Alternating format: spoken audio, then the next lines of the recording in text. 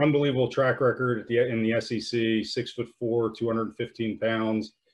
Uh, true power arm with the ability to have a chance, with ability and a body that's physically uh, built to last for innings and, and pitch at the top of the rotation.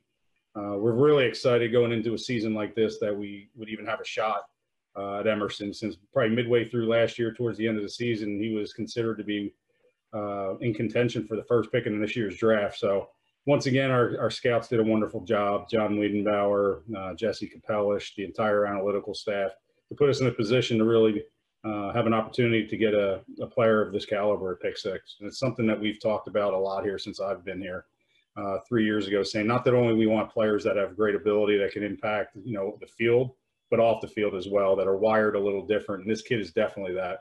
Not only is he a special player, he's a special kid that uh, is wired just like those guys, really cares about winning and also doing not only right on the field, but off the field.